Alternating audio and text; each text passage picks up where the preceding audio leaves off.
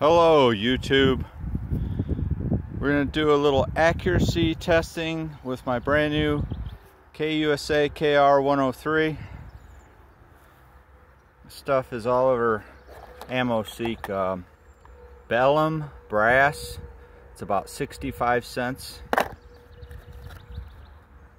Norma Tactical, that's about 65 cents from Ammo Shop online and I did actually get what I ordered. And this is Wolf but it is made by Barnaul. Uh, try to look for the logo. That logo right there. That means Barnaul. So this and I've tested this ammo. It's it's just as good as Barnaul.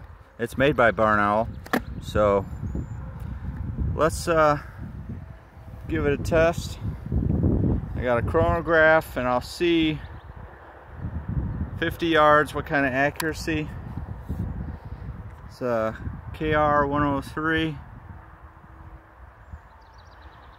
This gun has excellent fit and finish and it seemed to be holding about 2 MOA from the first 50 shots I shot just to test it and this will be shots 51 through uh, 100 or something. Let's go. I just wanted to show you folks this trigger because it's really cool.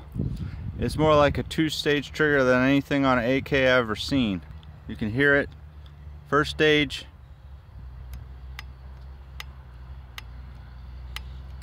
Just like a old two-stage Swiss rifle or something a second stage. It's a really cool trigger. Well I was only uh, able to get six shots in. Uh, it's a brand new clean barrel because I cleaned it for the first time. So we'll disregard that. But 50 yards that's like 4 MOA close to it. Uh, but the rifle might shoot more accurately when it has a little dirt in it and I can't test it any further because we ran out this field and the frickin' farmer just showed up to spray the thing. So I'm done for the day. Sorry. Can't do much more. I'm allowed to build a thousand foot range out here. The farmer said that'd be all right. But